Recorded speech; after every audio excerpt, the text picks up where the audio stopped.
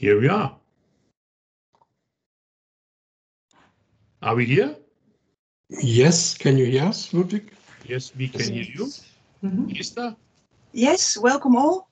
my companion moderator. Hello, this is Hello. Marco. Let's wait, wait.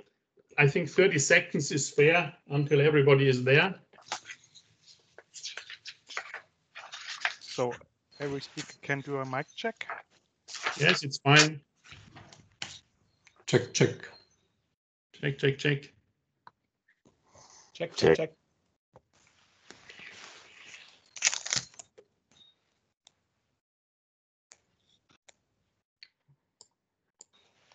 So, how many people made it to our session, Shenya? Not, no, not Shenya, Esther now. I'm, I'm getting mixed up with all my ladies here. Yes, yes. How many people are there? We have, I think 30, 34 attendances, actually 35 by now, and 10 presenters. You can see it in the chat. yes. So, let's start. Esther, we said that you start. Yes, because I noticed that you were not properly introduced in, uh, in the first session. So let me tell you who Ludwig is. Ludwig Karg is from the member state Germany. He works for over 30 years in sustainability, digital, and energy business. He owns the Baun consulting firm and he has a strong interest in the environment and renewable energy. He's a trusted partner for governments and local authorities for developing plans for energy transition. You didn't tell me that you say that. Uh, at least you didn't tell me that you say something about the 30 years. But but still, uh, you them. You you you, you deserve. I introduce you. Uh, wh- wh- what I noted down for you. um, you have been in this business less than I, and you are, you are heading also an organization in the Netherlands uh, that does real practical work uh, that brings uh, renewable energy to the grid and brings the people to these renewable energies. So this is excellent work you have been doing and you are still doing in the Netherlands. And you headed one of the working groups. I don't know exactly why you don't do that a- a- again, again anymore. Is, is that because there's a term that elapsed or how was that? Yes, only three years. You have to rotate to get everybody the chance to chair the working groups. So Okay. yes, So but I'm still anyway, the two of us try to to moderate that one. Um, what we will do, uh, this is a difficult exercise. We have invited representatives from five projects, uh, and these representatives will have the task to present their projects in 99 seconds each. Uh, and then we have more questions. We have a, a set of questions, and we have a lively panel discussion. Uh, and on the panel, uh, two people will join us Ana Maria Sanchez Infante and Jan Roszek. So they should have the first say. I think uh, they should be introduced first, and I think you can best introduce yourself. Uh, and we play the game. Uh, you have 99 seconds. Anna, Okay. is it fair that in this case, ladies first? I don't know if this is an honor to you, but you, you are first. do it. 99 seconds. I, I, I start a counter, but I don't show it. Don't worry, I will be quick. Good morning to everybody. My name is Ana Sanchez.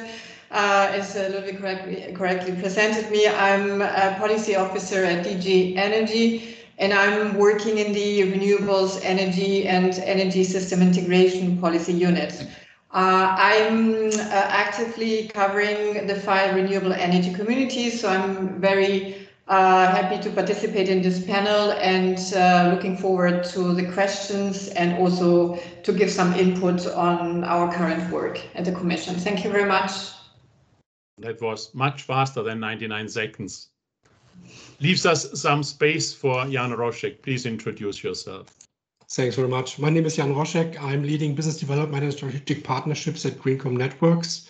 I'm a member as well of the ATPS Network Group for Digitalization and Customer Participation. And as you know, we are focusing mainly on the overarching arching architecture, the data information system management, now linking it as well to Gaia-X. Of course, never-ending story, cybersecurity, standardization and interoperability. And of course, and that's the focus here for this uh, workshop, customer engagement and participation. In all 410 selected um, use cases from our area, we have now embedded um, the um, participation engagement models in our, let's say, research and solution areas. And in the big um, idea, which has been um, shown by Jan Ocko already, one-stop shop, the universal access uh, platform for customers and citizens to access information and gives them choosing options for energy services, we can learn how these engagement models can fit. Yeah. One advice which we have learned so far is on our digital journey, we must carefully not to foster and forget uh, uh, the digital divide so that nobody will be left behind when we are kicking in digital uh, solution and services, which not all citizens in Europe can maybe participate because they don't have the tool, tools or not the next network access for that. So I'm very much looking forward to our discussions here. So you will not only present your ideas, but you will help us asking the right questions to our panelists from, from the projects. But first of all, uh, Esther, we would like to learn a bit more about the people that we have here, right? You, you counted them, was it 40 or something? We have prepared a Slido. Uh, can we start the Slido? People, you, you know how to get there? Yeah you click on the top, you, you select the parallel session four, and you get the first question.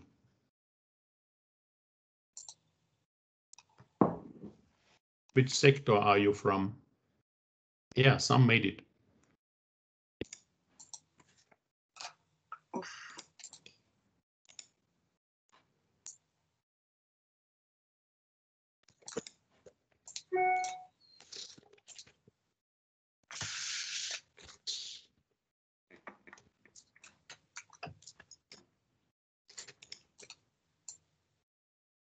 interesting, but not too many participate, right, Esther? Yeah, I think we, we have to wait so that everybody puts in their code and in yeah. to make sure that we're all, all, all on board. Maybe while, while you're doing that, some uh, some rules of the game uh, we have these panelists and we have many of those and, and we have uh, little time, but we still collect uh, your inputs from the chat. So we, we follow the chat and if we feel like it contributes to better understanding, we bring it to the panel. Uh, and if we feel like it could be answered by some panelists directly, please also check and, and answer directly. Uh, and we will store the chat uh, and we will definitely relay the chat to the people that can answer. So it's not lost. And mainly these workshops also are there to give input to the ETIP, to the bridge and everybody. So please let us know via the chat what you have to tell us. It's not going to be lost, even if we cannot discuss it now. Yes, so more or less we have university and others. I would be curious what others mean, but we have everything, technology, research, right, Esther? Yes. pretty, pretty, much, pretty much balanced. And where are you from? Can, can we see where you where this part of the group is from? Can we get to the next one? The Austrians. The Austrians are here. The Spanish, the Germans.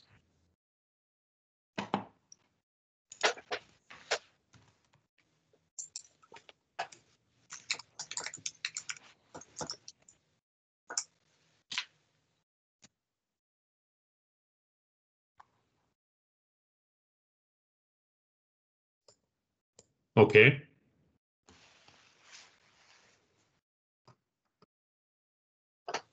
That looks nice. That looks good. So sort of spread. We have Central Europe, uh, yeah. Southern Europe, the Netherlands. Where where are the Scandinavians? They are waiting for the Scandinavian regional workshop, right? Yes, this is the meeting.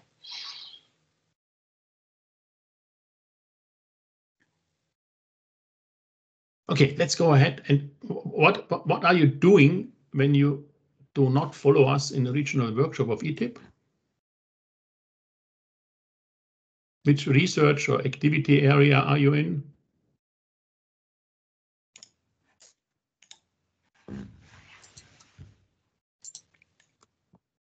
Ah, yeah.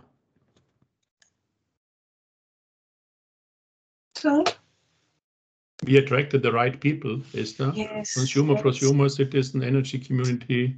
But they already know that the consumer and prosumer is very important in the energy system. We can shut down. We, we can stop the session. Everybody knows. No, you don't.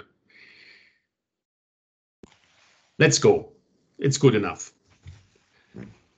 We have five projects selected, uh, and we will ask the representatives, and you see them here. You you can see them. Is there? Yes, I I'm Yes. sharing that here. I can, I can see. We run one after the other. Yes. And we start with Jerry, Jerry Kozeman. And he's from Brussels. And he's a professor at the Vrije Universiteit van Brussel at the Department of Electrical Engineering and Energy Technology. And at the same time, he's a director research team on sustainable energy communities. Please, Jerry. Hello, good morning. You are the role model, Jerry. Now, I have a role model. 99 seconds. Can you do that in 99 seconds? No way, you didn't mention Belgium, so I have to take revenge now. Ah, no, you, get, you get one second extra. so much. Okay, um, so you guys share the slides, right? So hello everybody, I'm uh, Thierry Coosemans. I'm um, managing, coordinating the Renaissance uh, Horizon 2020 project. Uh, basically, this project started in 2019 and it's basically all about designing an energy community, starting either from scratch or from a brownfield or every kind of every level of maturity towards full implementation. Important for the project is that we engage stakeholders right from the beginning, not only consumers, but all stakeholders, the whole ecosystem. Um, so how does it basically work? We go to a site or a community that's you know losing the presentation now. Anyway, a community that wants to build an um, an energy community, analyze the situation not only in terms of resources, assets, and so forth, but also works models of collaboration, uh, business models that could be applicable there. Then we design it uh, not only from a technical point of view, but also from a business point of view, from an ecosystem point of view. We integrate it, hardware, software, and so forth. We test it in different sites and we validate our design models. Um, we do this in real life in four sites in Europe, in Holland, Spain, Greece, and Belgium, all with a totally different DNA, I would say, different kind of energy. How Role that is. to, um, to, to university student. That's it. I uh, That's my it. time. Okay. Look, look what? Excuse me. Have you seen it? You have one second left. It's interesting. Uh, my- son is a psychologist, and he told me that everybody has this 99 second clock in in themselves. So people have a good feeling what 99 seconds are, for whatever reason. Yeah. But you, you have been listening to Thierry. Uh, we have prepared polls. After every 99 seconds, we, we can do a poll. Can can we show the poll? For,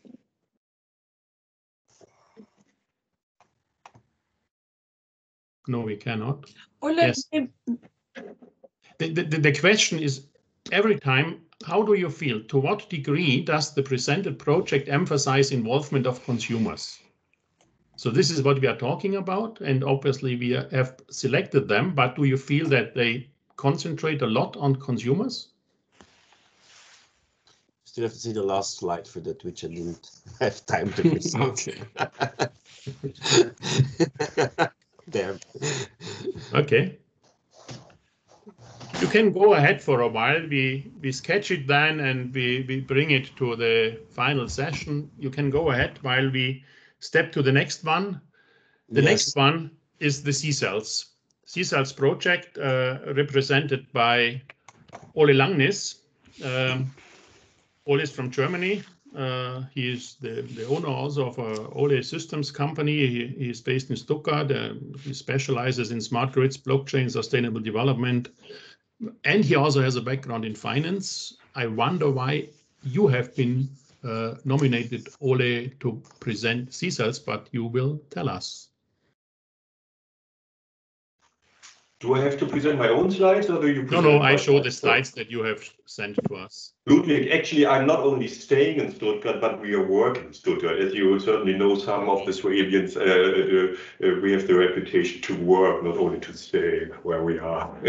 anyway, um, so that's you. So you know also why I, I was nominated because I'm working in, in this field for about 30 years, um, and uh, this was one of our uh, largest projects actually we we we ever conducted. The C/sells project it, it just finished. It involved uh, 58 partners, 84 million uh, euro total budget.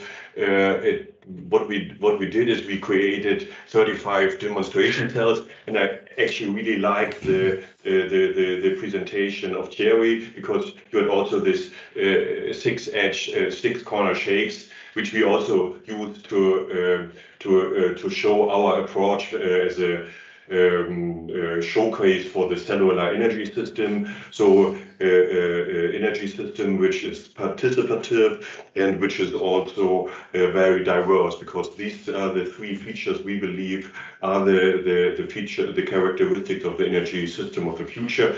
Really large scale. Uh, so in, in total 30 million people was uh, theoretically uh, uh, affected. In, practice, we involved some thousand people here in the in the last uh, uh, four years. Um, what were our three main uh, uh, elements? It was uh, uh, infrastructure information system, so basically uh, uh, uh, digital backbone here. Then we have regional markets, which allows also on a on a on a, on a uh, economic scale uh, the cells to interact within the cell, but also uh, without the cells, uh, uh, in, in in between the cells, and uh, the cells, as I said, the regional cells in itself. Next slide, please. Um, one one no, example. is no next slide, uh, Oh. and your 99 seconds are gone anyway. Sorry. Very good. Okay, fair. You, you will have other opportunities. Uh, can we can we ask for the quick reply on how much do you feel that C/sells tackled the question on consumers?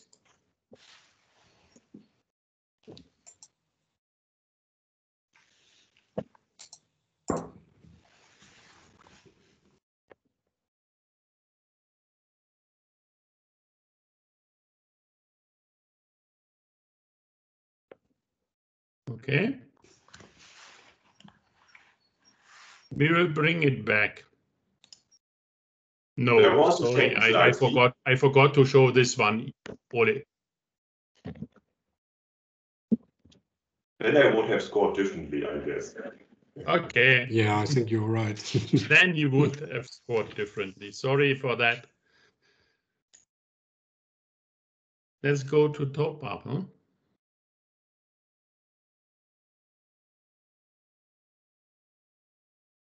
Esther, do you want to introduce Yes, top up so- already? Yes, Thijs. Thijs is from uh, the Netherlands and he is assistant professor at the University of Groningen. And he's strongly interested in the drivers behind the individuals and group behaviors. Especially, he focuses on the values and behavior change within the environmental and sustainability domain. Thijs, please. Thank you, Esther. Um, yes, so my name is Thijs. Uh, I'm representing the Top Up project. It's a ERANET uh, Smart Energy Systems, uh, well, actually the Regional Energy Systems uh, project. Um, and Top Up stands for Top Down Energy Projects as uh, cata- catalysts uh, for bottom up local energy initiatives. Um, it's a project which specifically focuses on two regional sites. So one is Groningen, where I'm from. The other one is Copenhagen uh, in Denmark. And we also have partners from both countries or both regions. So uh, both the University of Groningen as well as the Danish Technical University is involved. And we have many different disciplines involved. So I'm representing psychology, environmental psychology specifically, which is specifically about uh, consumer perspectives, uh, motives, etc.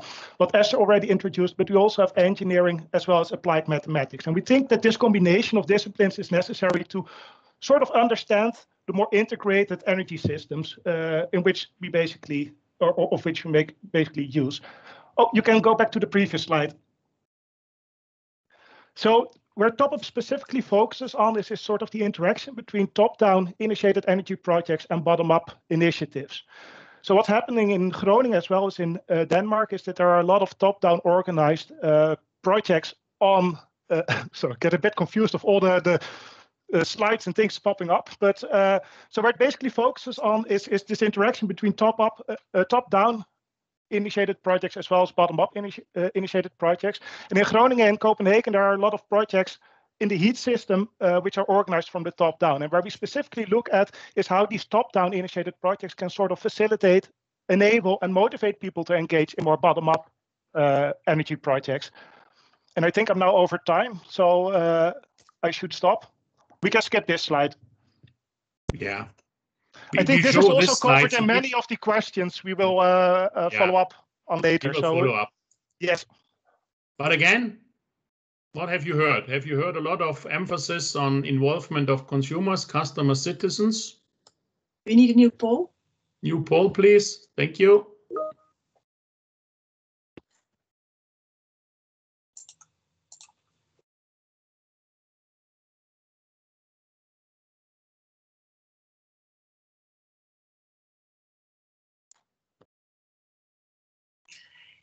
Yes. If you study groups behavior, it's uh, of course the customer cannot be neglected. Yes, that's true. And we can see that here in the score. Yes. And if you have a psychologist presenting it. Yes. Okay, but still, while, while you keep voting, let's go to the next one. The next one is the solar project. Uh, will be presented by Thomas, Thomas Walter. Uh, he is from Germany. Uh, he is the, the head of a small ICT company. Is it small? I don't know exactly. Easy Smart Grid, but uh, he has a good view on the market design uh, because he lives of it, and and they have been doing uh, a great project uh, in a small village in the middle of the Lake of Constance. Your turn, Thomas. Thank you, Ludwig. well, it's not in the Lake Constance, in the on the shore, uh, and I'm very happy that uh, uh, Ole presented C/sells because uh, Allensbach was the participation, uh, citizen participation uh, community of this project, one of them.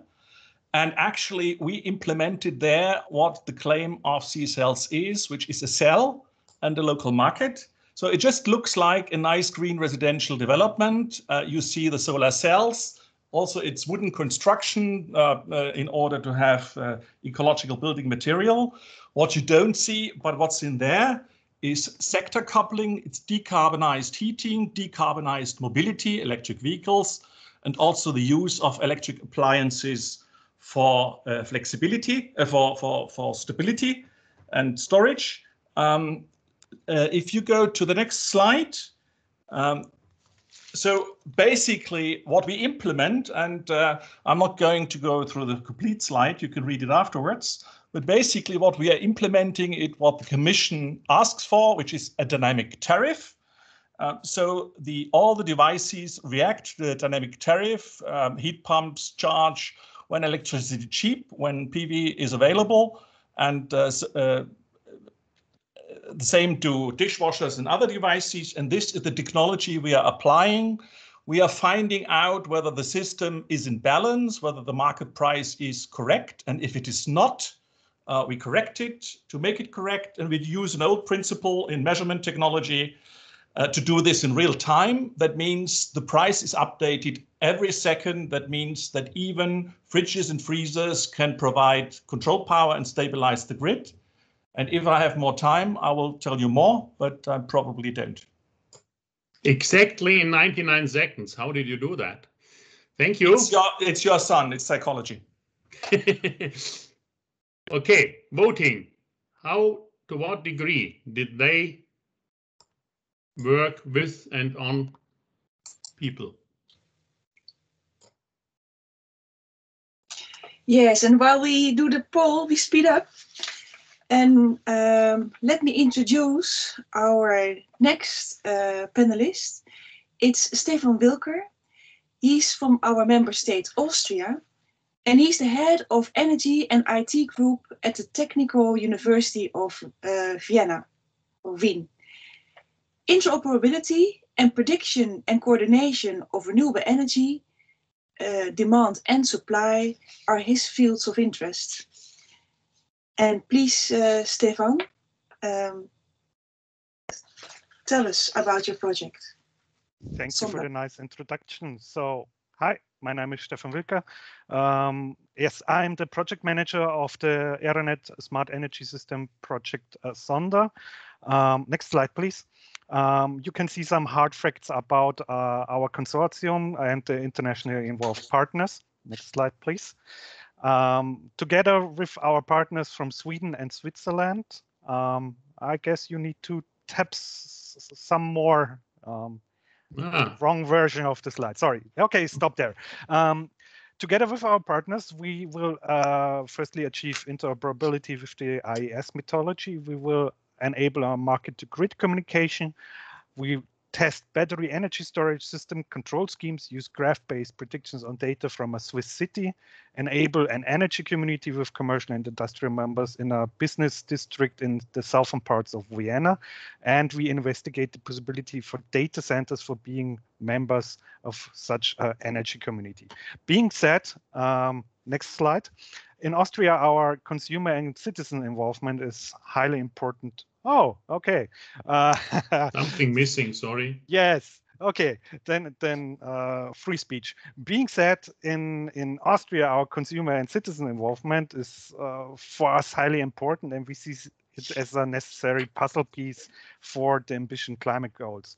Um, we are currently in an ongoing survey to support our development of a planned co-creation workshop, and especially since Austria has just released their new law on the Renewable Energy Act, this will be a huge step uh, towards the possibility to involve citizens in energy communities, and this is for us an enabler and empowerment that is necessary to achieve these goals. Um, we involve uh, experts from various sectors, uh, including property and real estate developers uh, during this phase, and I'm happy to discuss it uh, and exchange thoughts on it in the upcoming discussion panel. Thank you. We, we have stolen your slide, but we have given you 10 more seconds. Is Yeah. that fair? so, Paul, Paul, on how much did they concentrate on citizens, consumers, customers? That is, by the way, something that we will discuss, Esther. Why do we talk about consumers, customers, citizens? Why do we make a distinction and so on? So we will go like with these people, the people you know already. We go like asking these questions more or less. So it's four blocks of questions. Uh, there is, I don't know how much time is left. Three quarters. Uh, now. Three quarters of an hour. So we have 10 minutes per block. Let's go. I think I switch off the slides here. Uh, is that fair? Because we don't need them at this point of time. We start asking people, and if we feel like we should show something, we show something. But now you can put it to the gallery mode and it makes it a bit easier to discuss. Can you start, Esther? Yes. So the first question is what drives consumers' behavior uh, to be a good citizen? And um, yeah, we, we can Thijs from Top Up, he, he you stressed um, the top down plus bottom up approach. But how much uh, top uh, down do we need and how much top up do we need? Can you maybe you can have a brief answer?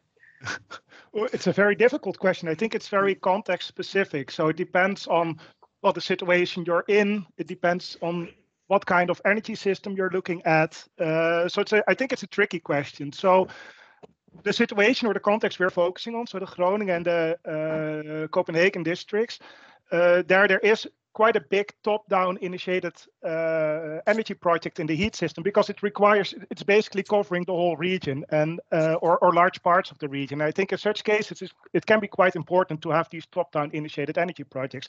But what we often notice is that within these kind of top-down uh, initiated energy projects, it's often forgotten that people also play a role. So how they respond to it, whether they accept it, whether they adopt it, whether they use these things in the right way, that's often something which is neglected. So it's often decided, implemented, and then the next step is also taking into consideration what people will do with it. And it can be within that specific energy system or within that specific project, but it can also stimulate or motivate or might enable people uh, to initiate their own projects. So, for instance, it might become more beneficial to start an energy community or electricity energy community when this heat provision or heat generation requires a lot of electricity. So, in that way, we're sort of studying these kind of interactions. But I think coming back to your question, I think it's a tricky question because it, it depends on so many factors. Yes. I see. Can, can I ask Thomas? Thomas, just recently, remember we were in, in this city in Baden-Württemberg where you gave a presentation uh, and we, we, we, were also talking about bottom up and top down, and we said, okay, Berlin maybe doesn't behave like we would them putting these directives in place. But you said that you can also promote it bottom up in on a municipal level. What was the role of the municipality in this case of Allensbach? Well, the city of uh, uh, Allensbach, or the citizens better, because just 7,000 people, um, already 10 years ago decided that they had to do something against climate change. And they set up a task force, which was uh, just uh, citizens working in their spare time on the subject. And they actually drove the theme, how can we do this? Okay. And they identified uh, the, the uh, decarbonization opportunities. It's not just putting up PV, that's standard in Germany, but uh, decarbonizing heating. And, and, and then the next question came up, how can we orchestrate all this? How can we work? And that's where you need professionals. So you had three parties. You had the citizens, you had the community, which actually uh, allowed it, enabled it, and you had professionals who then came up with the ideas to do it. And there are niches where you can do it. So in Germany, we do it, uh, we just treat uh, the equipment like customer uh, equipment. So you can either uh, uh, remote control them by Google or Apple or with an intelligent way, the way we do it. Google and Apple is very intelligent. I'm not saying they're not intelligent, but they are not doing it for energy. They are doing it for convenience. And we are doing it for energy and, and uh, transformation. In, in, in your case, you involved citizens, people that yes. built an, their new homes. Okay, this was very residential. Yes. But Esther, we discussed that. I mean, we do not only talk about these uh, residential consumers and, and customers. We also talk about businesses and may, maybe yes. small businesses. I don't yes. know if they have been involved in Allensbach as well, but definitely, Stefan, you involved them, right? In in the Sonder project. Yes, exactly. I mean, the, approaching them is a little bit harder in these times. Yeah, you cannot knock on the yeah. door. Um, but uh, basically, we uh, in, in Austria we see a huge interest that they uh, want to to to move forward, but sometimes it's also to resolve some question marks. Might they be uh, from a legal perspective? Uh, what are they allowed to do? And also, they are sometimes afraid of what will be coming up towards them. But basically, at least in our um, experience, they are moving towards it uh, to, to make a change. You, when you talk to uh, to, to business people. Me, you know me, I'm an executive of a small company. I, I, have to look after money, of course, but is it something else that drives uh, executives of companies? Um, I, I would say so. So um, it's of course also uh, some part of the image that is okay. uh, is transported through the the company and also how they are seen when when they approach so, somebody else that um, they care about the environment that it's a yeah. sustainable business Yuri, Yuri is nodding it, what's your experience with the company people you, need you to have to switch, switch on. on. yeah I know. Uh, am I allowed to intervene? Is that sure. uh, format? Sure, sure, sure, sure. No. Uh, we have been looking at uh, objectives of different kind of stakeholders. Eh? And of course, for companies uh, and executives, first of all, there's of course a financial aspect. They don't want to pay more in general. In Belgium, at least, we're quite reluctant to do that. But um, then it's not about actually being green. It's having the green image was clearly put Mm-hmm. as a first uh, criterion. Besides being really green, eh, is having a green image towards their customers. It's something Okay. that came often back. Just as a small comment on that. Before I ask a question uh, to, to to Ole, can can we start the poll uh, that we have foreseen uh, on the consumers? The poll number five. Can we show that?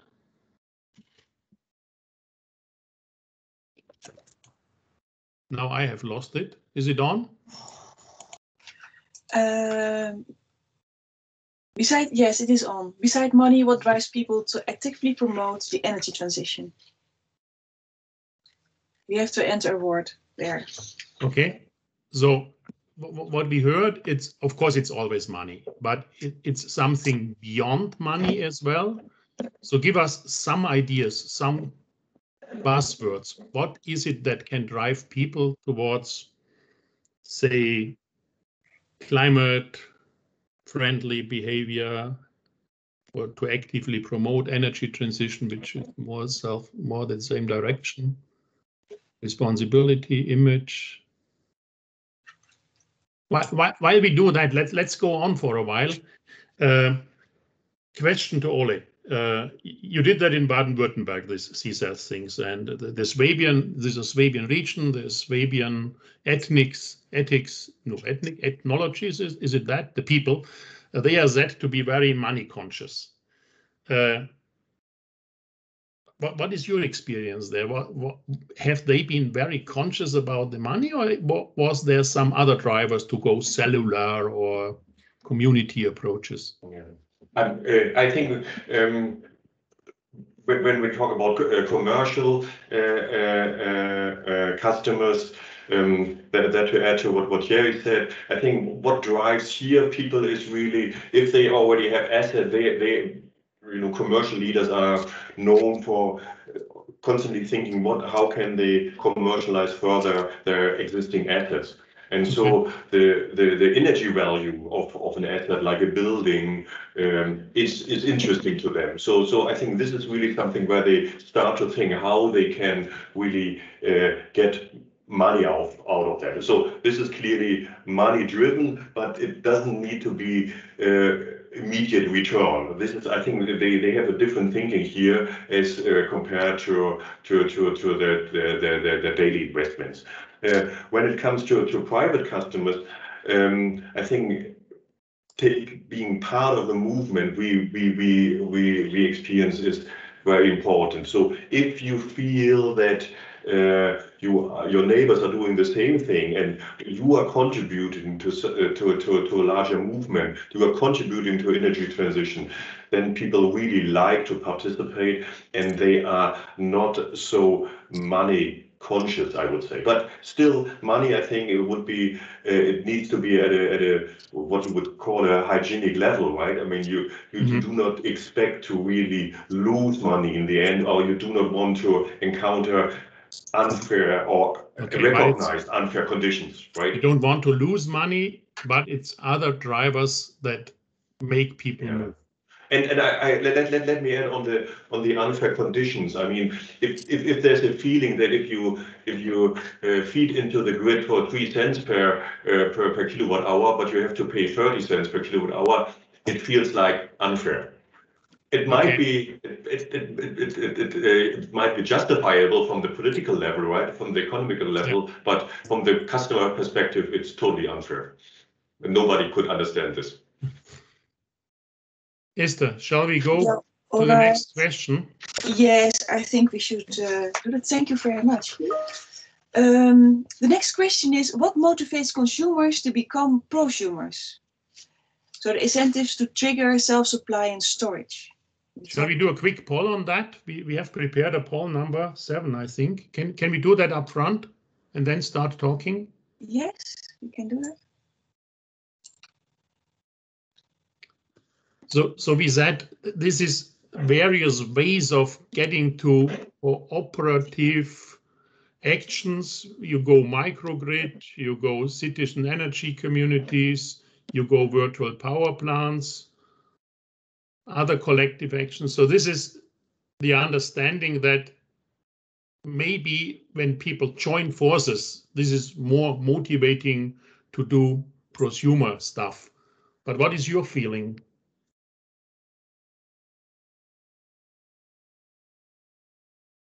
So citizen energy communities is something, obviously.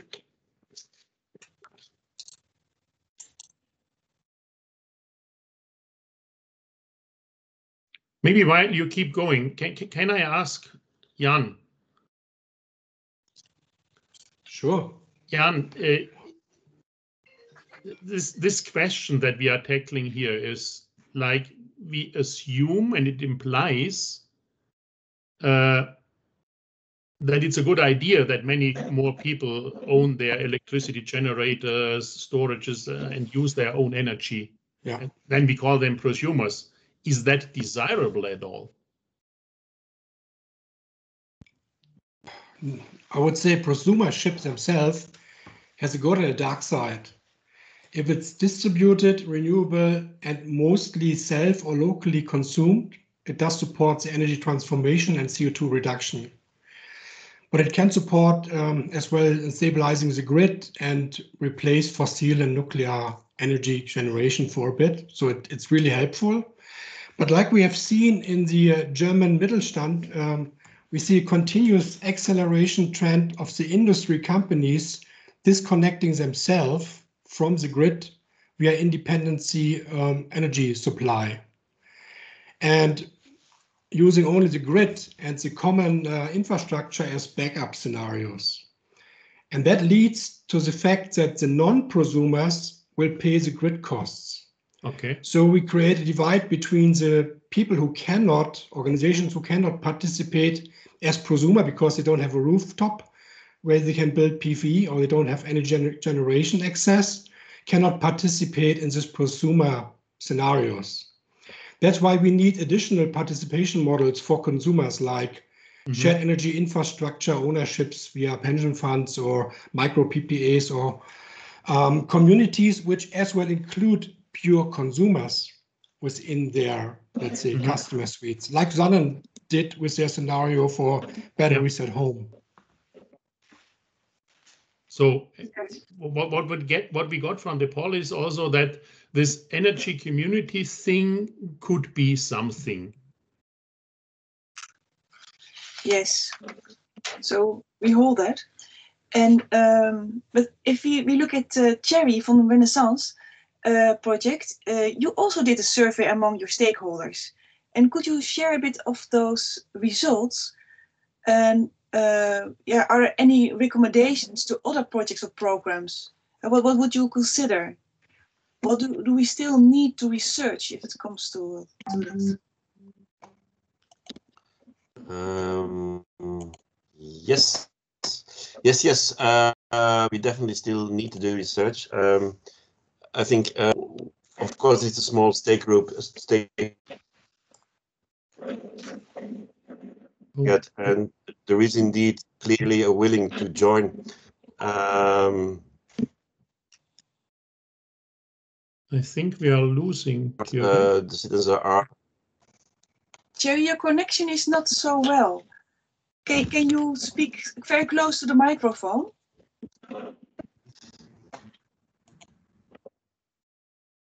Thierry, can you speak close to the microphone, please? Uh, I think no, we I think we lost him completely. He will be back. Let's let let's let's go ahead. Yes, yes. Yeah, maybe maybe maybe from top up. Let let's switch to top up. Uh, because um, you investigated Thijs uh, a lot, and what I wonder is what makes people um, what does people like and what drives them crazy? And yeah. About what specifically? Because i think it depends a lot on on mm, uh, what topic we're specifically so is it energy communities or is it other energy measures projects in general what does the psychologist say what, what drives people when they buy uh, a car when they participate in energy communities what what from a psychologist point of view, what are the key drivers? Can you not Well, not yeah, a I think- lecture, but some sentences? What, what So can I be think the key drivers are already, so we sort of discussed them already uh, when discussing the previous question. So I think, and also I think the poll nicely illustrates key drivers of people, their behavior. So, well, you already mentioned financial aspects. Um, I'm not entirely sure whether, and I think it's also in line with what Aldo said, whether it's a driver or whether it's a main barrier. So it, it relates more to what drives people crazy, that things are expensive, that it might have uh, a lot of consequences for the actions they need to take, uh, may, may uh, interfere with habits or um, well, things they typically do so that it interfere with the common practices of them. Um, but what often drives people are those, uh, uh, well, what we often find is that sustainability motives, but also social motives, which are sort of reflected in these um, these polls as well. So I think what what the two most voted for communities or initiatives show is sort of that there is a group attached to it. So it connects people or it can connect people with each other. And that can be a strong driver of these kind of things. So people appreciate doing these things together. And that might be an important reason to participate in these kind of projects. Ludwig, you, you want Well, to say what- something? what can I mean? You you you are doing a project, and and you are I- I would say one of the few projects that have uh, sociologists, psychologists in it. We will come back to that one. But what can projects like the Top Up contribute to the knowledge? So what drives them crazy? What makes them move? What what, what type of insight can we gain from such projects? I- think it's uh, these kind of, of projects are really important to understand how people respond to projects or respond to new changes in the energy system. So uh, I think knowing more about these drivers also enables you to uh, to generate expectations how people might respond to something you initiate within a neighborhood or within a community. It it it, it gives you an understanding of what brings people together on these kind of things and also what makes them willing to, for instance, reduce their energy use or move it to other times. So in, I think in that sense, and I think it's we don't have the time to discuss all these factors here now, but I think it, it can in that way contribute a lot. And I think it also contributes a lot to uh, understanding people, their energy behaviors. So, um, for instance, Yeah. what's, what's often done in, in more technical disciplines, so also our engineering partners, they focus on uh, control uh, uh, algorithms, optimization problems. But of course, people also play a very big role within these energy systems they model. So we can also give insights in how people may respond to certain things, how people behave in certain ways, for what kind of reasons, and whether this differs for different populations. And by that, also improve uh, how these energy systems are modeled or improve these kind of algorithms. Yeah, Ludwig. I see the hand. I see Anna's hand up. Anna. Yeah, sorry that I'm just too impatient and waiting for my turn to intervene. But um, think, I, I was really carefully listening to the different uh, panelists, and one important thing from the psychological point of view is um, this citizen empowerment, so that citizens understand that um, that that they have many options, and one of the many options is uh, actively participating in in en- I mean energy in terms of self-consumption, uh, to get uh, into energy community together with other members, etc. So um, I think this psychological point of view is very important, and this was also one of the uh, thinkings behind uh, policy when we integrated uh, renewable energy communities into legislation, is to is to give um, the, the citizens to make them uh, like as the they're, they're the important parts to help for this energy transition because otherwise uh, yeah I, I just wanted to make a point on on, on this um, As from a, the policy point of view An- Anna, as, as as I see Thomas' hand, and I, Thomas, I, I, I would ask you a question. I mean, now we are on this municipal level. Uh, Anna said something about empowerment. Uh, how how important is it when we go this bottom up, or what what does it mean to go bottom up? And and and and the and the question to Anna would then be, shouldn't we do more research on such bottom up muni- municipal empowerment stuff? I haven't seen so much in the Horizon Europe, for example, at least not in the energy part of it. So how do we get to that? How do we get more knowledge on that? Well, first, before I answer your question, I put up my hand because in hindsight, the German EEG was very smart because it was like a, a savings account. People could put money in solar energy without risk with a moderate return. So they got used to actually being producer. and now it gets more risky, and they now have to become more active. I, I think that that that could be uh, uh, just one lesson. But coming to your current question, I think it is absolutely vital because uh, the the uh, even if you look at, at, at German policies, it is not because industry or politicians came up with the idea that renewable energy was a good thing. It was because people drove them, uh, actually forced them uh, um, to, to because they just voted for for green parties, as you just see at the moment in, in, in Germany. So so I think um, particularly if the Commission is is looking for citizens' involvement. Uh, yeah. There is something which in, in typical company is called the, the clay layer, the middle management. and uh, if you want to change a company, you have to take to talk to employees. Uh, and that's what many people don't do in companies. Mm-hmm. And that's why change is so difficult. So I think it's the same with companies. Uh, if you take a new direction, it's the same with society. Uh, people are there, they want to do something, but it's too complicated for them to do. That's that's the. What, the what can we do about it? I mean, the, so we need two things. We need regular. Not what we what we need, Thijs. This is preventing. It is something which is called uh, in, in, it's called a real uh, lab funding for not just only research, but for projects where people actually live in, um, okay. uh, and that should scale. Um, it is regulation, and we still have a challenge in transforming European regulation in national law, particularly Germany, as everybody knows. yep. Uh, right. You know, when I tell that we are actually doing dynamic tariffs, uh, which is, uh, I think, uh, something well known in Brussels, and you talk about this in Berlin, they say, "What are you talking about?" Yeah. Um, so, so, I think there should be a much, a much closer, uh, uh, uh, uh, you know, connection in the complete value chain or the complete decision chain. Um, I hope this answers your question. I see the hand. I see Thijs, but I, at the end, I would ask Anna. I mean, when when we look at this bottom-up municipal world, we have to look at spatial planning and involvement and so on. Is that an issue in DG Energy? But first, first, Thijs. I'm also fine if Anna responds first. So go ahead. You have a specific question, so maybe it's easier to do it that way.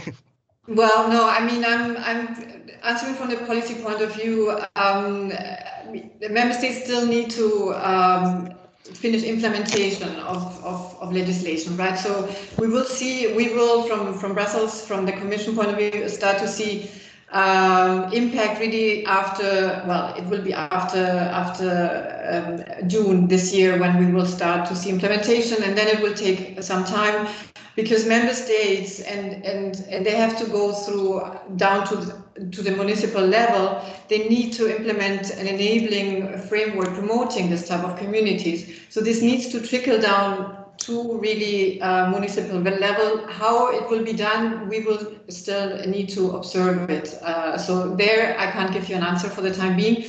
But nevertheless, we encourage member states uh, to exchange in terms of best practices where these models are implemented in a successful manner. So in terms of uh, uh, showing case studies, best practices um, in any type of events, workshops, whatever, um, should be encouraged and should be done like like today, for example. Yeah, thank you. Can we can, can we link uh, Thijs, Esther, shall we link Thijs' answer right away to our third block? Yes, uh, we can do that. Yeah. yes. We have to hurry, Thijs. I have yes. to hurry. Okay. Third block is about collective.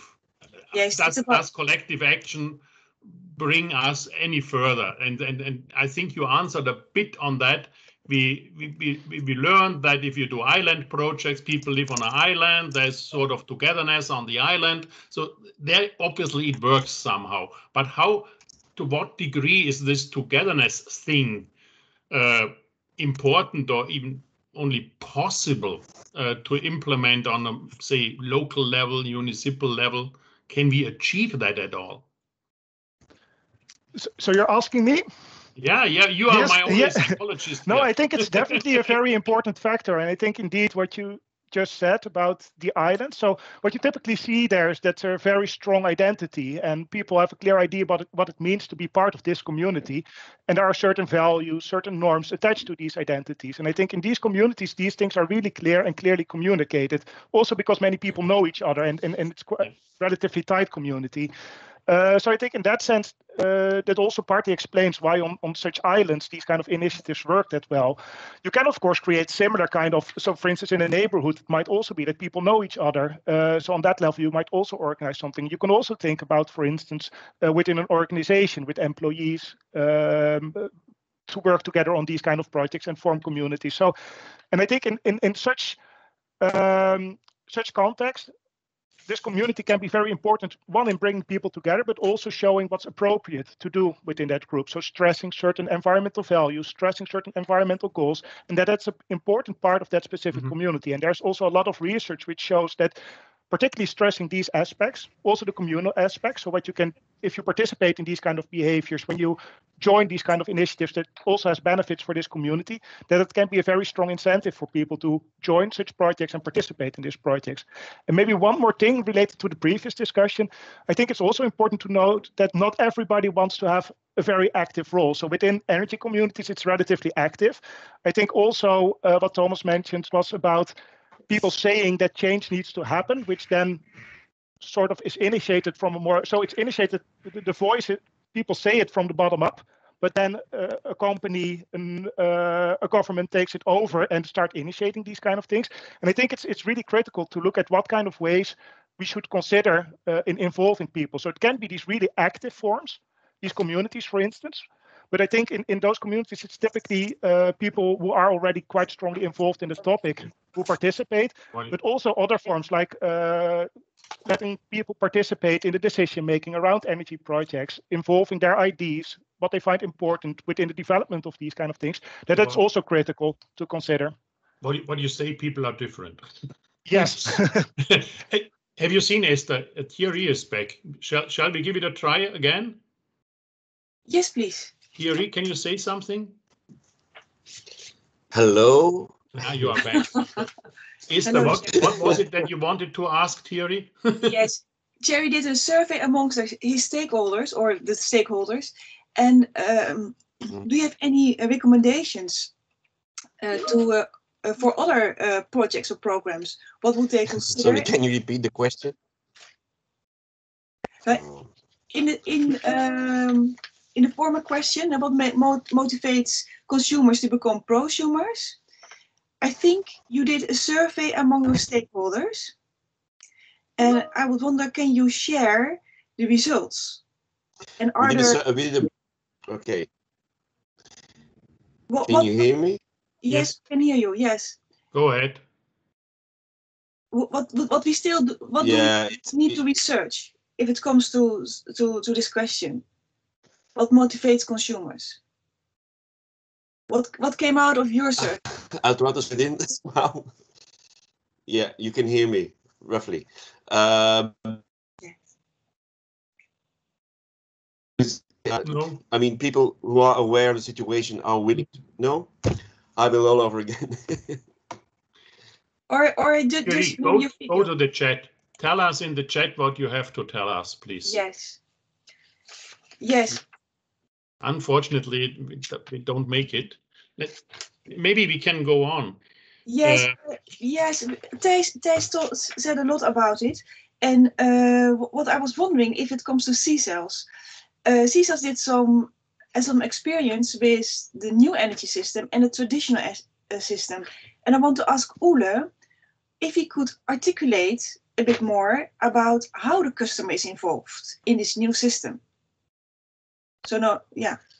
They said it's important, it's, it's nice, it's good, but how? It's a how question. Esther, can, can, can you repeat? There was just a noise. Can you please repeat the question? Sorry. Oh, can you articulate how the customer is more involved in this energy system we're talking about, this new energy system of today, yeah. compared to the traditional energy system?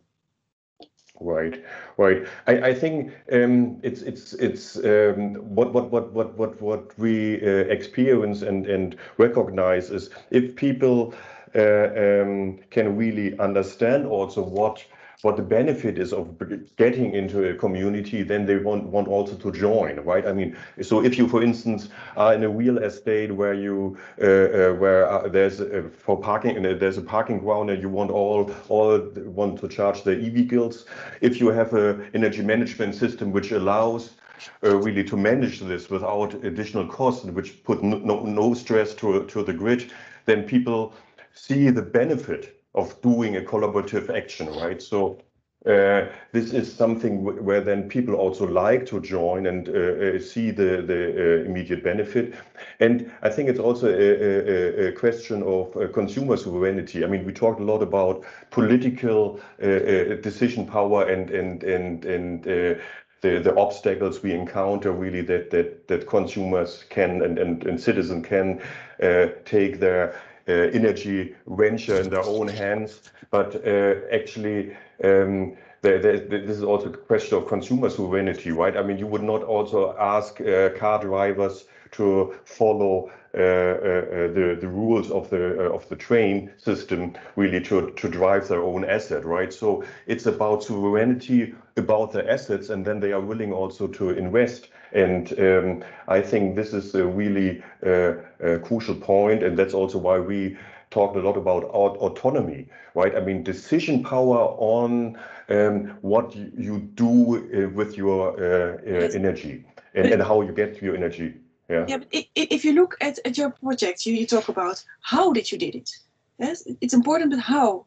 How how did you? Is it the architecture of how? It's it's it's it's it's in on on one hand of course it's uh, you you you create frameworks like for instance a local energy market right where you can uh, uh, market your your your self generated excess uh, uh, uh, energy or market it into into for the for the grid operator. It's also technology right? I mean if you don't have the devices which allows you to communicate then uh, Uh, you, you, you can't really participate. So, so technology is really key, but it's also a driver, right? And, and we, we saw that once you have implemented these technologies, people start to think, oh, what, what else can you, can you do with it? And I think this is also a very good message because we are not only depending on the political drivers to force into energy transition, but we already have more and more means in hands where people just want to do things, right? If you have an e-vehicle and suddenly you you're starting to think, oh, what can I do else with it? Can can I support also the grid in vehicle to grid technology, right? If I have a storage, how can I support this, right? If I have a smart meter system, how can I uh, uh support here? How can I make extra money? How can I be part of the community? So is I think that, is that something the technology that driver is very important. Ole, is that really something that drives people? I mean, we have heard that from Thijs, eh, but but there's there's this question of these regional marketplaces. I mean, do obviously I want to use many want to use their own energy. This is nice, but do they want to sell the energy on a local marketplace to the neighbor? Is that a real need? I mean, this is not only a question to Ole, but to the others. I mean, I, I could I could just confirm. Yes, it's a need. Uh, it's it's it's it's a it's a will. I mean, yeah. whether it is a need that that it, it it would be a question like, do we need trains and cars, right? I mean, yeah. the train system is very good system. Why do we need cars? But obviously, people also drive cars. So this is not a real question we need to answer, right? If people like it, they do it but maybe maybe that's different also from from region to region to region. And and we have to wrap up this third section is the can can i ask ana a question? I mean we have been talking about the the europe of regions. When you Venizelos stressed that uh, and i i think also nikos. Uh, what what is your feeling? I mean do do we know enough about the different needs the different drivers also the different benefits of such collective approaches in the various regions of Europe? I mean, we, we know that not everybody takes it up as as others do. Is is there a difference, and can how can we cope with that? I mean, um, for us, I mean. There will be differences in in implementation and then how, how member states do it uh, on, on local level. For us, I mean, differences, uh, they are intrinsic not to, to, to, to, the European Union. So for us, it's more important, and sorry that I speak more from the point of view of, of, uh, of, the, of a policy uh, officer or representative. for, for us is more the right uh, implementation of, of the legal framework. So what we have done, and we think that we have left open to member states uh, to introduce some like, uh, I mean, uh, differences in terms of uh, how things work in their particular countries or regions. Um, so there is some flexibility with what we have in the legislation. So we will see at the end how this is implemented. Um, and we will react, of course. Uh, first, we will do a very boring, maybe uh, legislative uh, exercise, but then we have also to react to uh, uh, citizens complain if things are not working uh, properly, and and so we we can also see if things need to be reviewed. Um, but for the time being, um, differences will be there, but the important thing is, is for us the right implementation of the of the EU legislation. Thanks. We, we are getting a lot of inputs. I'm, I'm a bit following the chat. Esther, have you seen something that we have to bring? Some agree? Yes, I, I saw a, a report we can uh, read afterwards. And also, yeah. like Rebecca uh, uh, tipped on a survey about renewable energy production and also the some about energy resilience. We will we will we will take that on later. Uh, I think. Let's, let's go to our last block. We have ten minutes left. Yes, ten minutes left. Thank you, thank you for all your inputs. We we will look at it uh, after the session. Thank you, Rebecca. Thank you, Ole. Thank you, uh, thank you all. Um, the next, the, the last question is, how does the project or how did the project combine technical, economic and social research? And how do you get that customer or the energy community, how do you get that involved? And um, yeah, uh, Jan from ETIP SNET, how can digitalization help to empower the customer?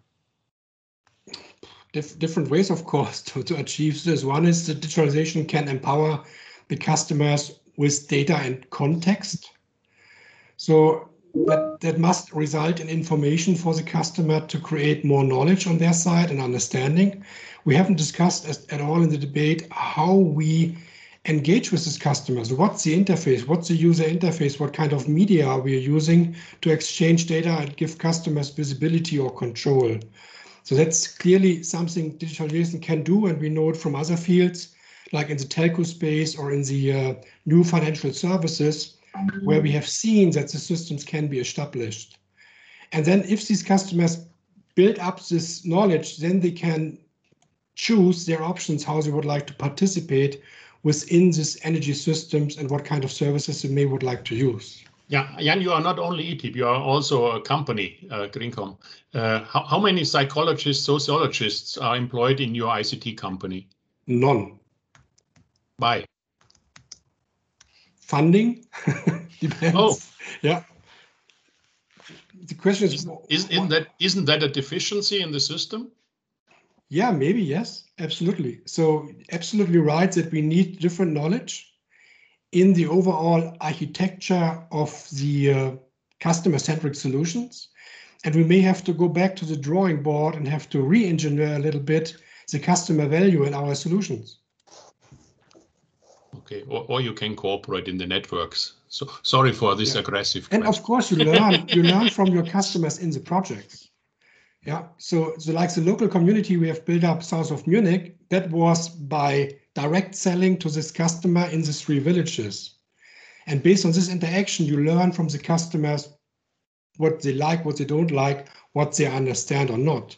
In other projects, for example, in smart city districts, you don't have access to these customers. So it's very hard to get them on board. Can I? Yes. One, maybe if, if you allow me, then you can wrap up. Is that one, one more question? Because uh, I, I, always look at these businesses, these small businesses yes. and, and these decision makers. I would ask this question to Stefan, but probably you wanted to ask it as well, Esther. Stefan, how can we manage that we better understand the real drivers for the business people. I can tell you as a head of a company, I'm not only driven by money. How, how can we do, how can we involve these people more? How can we better understand what, what is it behind the cost discussion? well, what we did in, in, in the Sonder project is we we uh, approached uh, well a local um, how to say company supporting uh, organization. It's the Vienna Business District, and they uh, inform the people and also uh, get involved the comp uh, the companies. So uh, they organize workshops, normally physical, of course, and um, they also uh, tackle these new these topics that need to be tackled.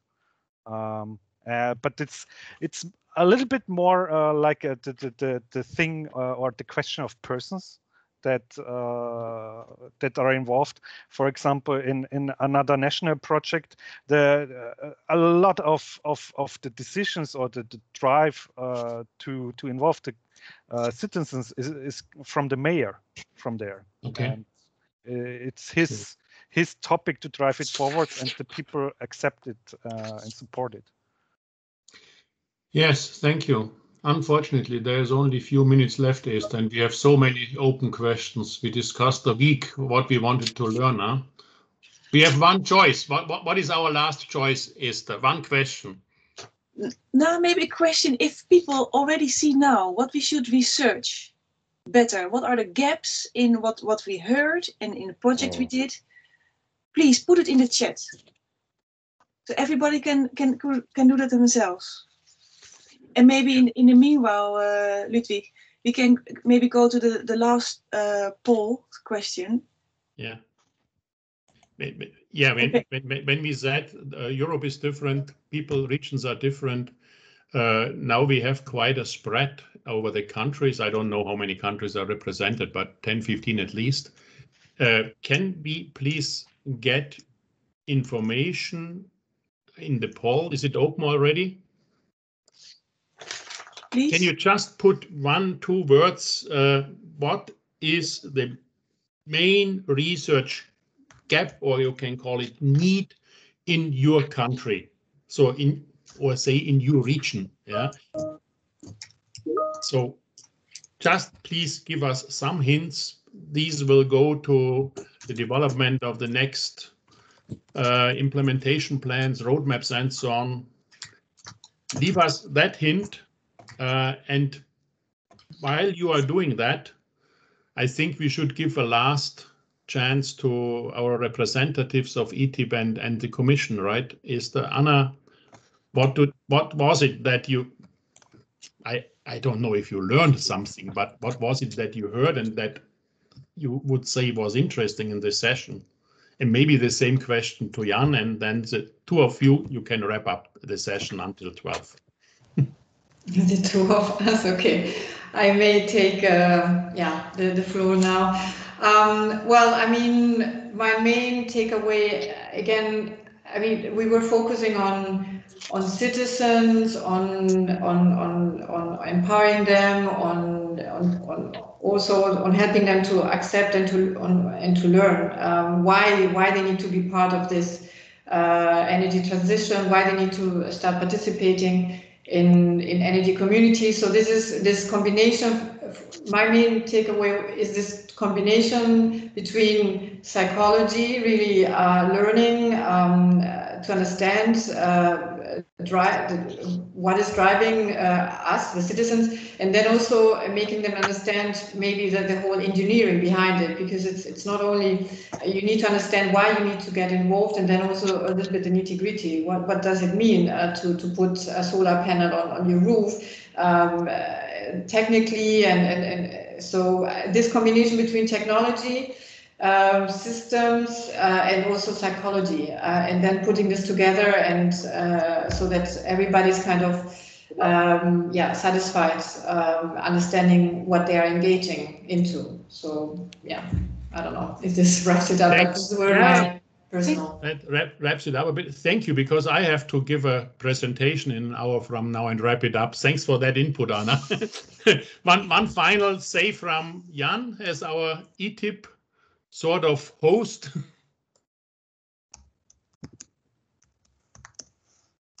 what shall I say in the next session? What did we learn, we from ETIP? I agree to Ana. We, we have to uh, research further how we can hold interest with our citizens over a long time. It's not a one-time shot. So we have to engage them, and we didn't discuss this. Uh, the communication models with these customers, we make them more clever. That means we have to, let's say, feed knowledge to the community that they understand really what's happening in this energy transformation and what kind of offerings they could use. And of course, we shouldn't left people behind. Renewable energy should be affordable. Uh, energy poverty should not be tolerated. And that's it from our side in summary. And we have quite some indication, some buzzwords. Thanks to everybody. It's 12 o'clock and we sort of made it, Esther. Thanks to Yes, everybody. yes. yes. Thank you all for being brief and talking fast and and articulated. And we see you for the wrap up. Uh, I hope you know how to get there. Uh, you find it on your access card. Uh, meet you there at 10 past 12. Thank you very much. Thank you. Thank you. Bye. Thank you very much.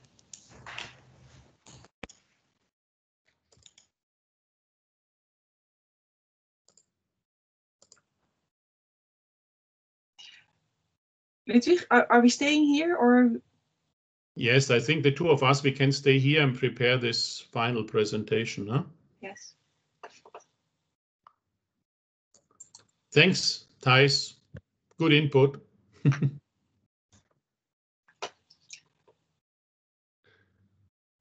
so who else is around? I will check the the chat.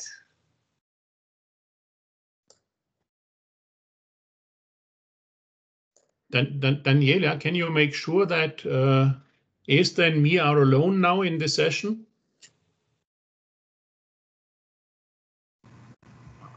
Yes. Yeah. Yes. Hold on a second. You are not alone yet. I mean, you you you can stay. So if you don't trust the two of us, but I have to say, otherwise the meeting will end.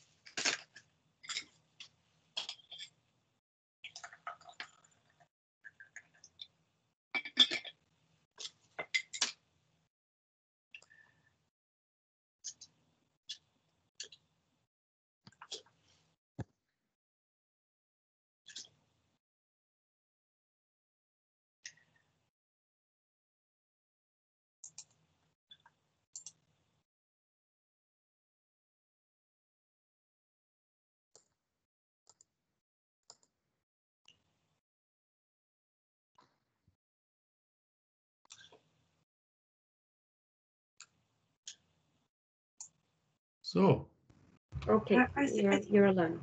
Okay, good. Thank you. thank you. I, I was writing, so I could not participate so much. no, you did. Okay. I mean, I mean, it's difficult. I mean, if if you do it alone, it's much easier to steer it. But I, I think we did a great job. Yes, it went well.